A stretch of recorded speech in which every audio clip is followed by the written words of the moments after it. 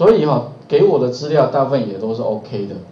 另外的话，它哎这个出来了哈，比如说这边的话呢，我就就是有一个标题，那所以我在做这个问卷其实非常快，一个标题、副标题里面的话有个这个格子啊，这个是单行、多行，然后单选、复选，那最后做完之后的话按一个提交。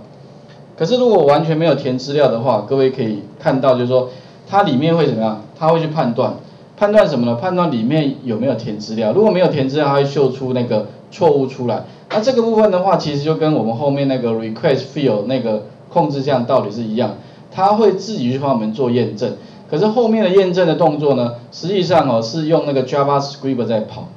我们这个网络实在太慢了哈。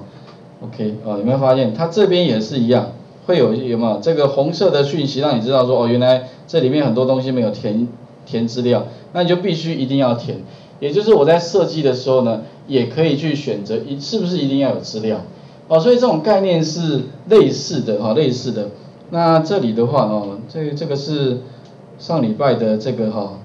这个这个课程其实哦我也准备了蛮久的，哦，光准备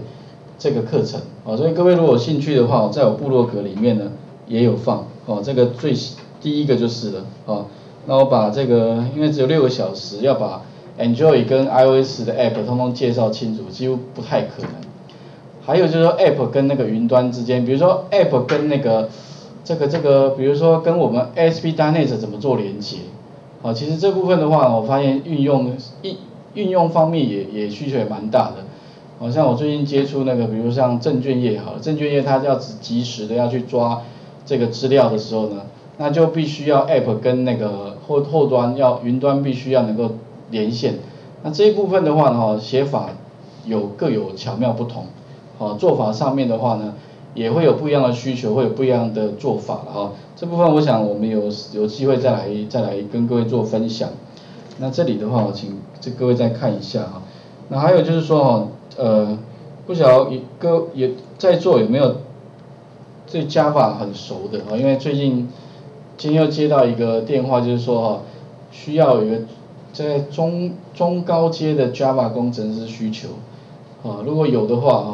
可以再再跟我联络一下，啊，因为最近好像 Java 工程师需求非常的大，但是一直都找不到人，哦，所以很多厂商都会打电话，一直问说请请我帮忙推推荐。啊，所以如果你身边有那种中高阶 Java 人才，啊，然后呢？时间上还有就是他目前也没有工作的话，可以再跟我联络一下啊。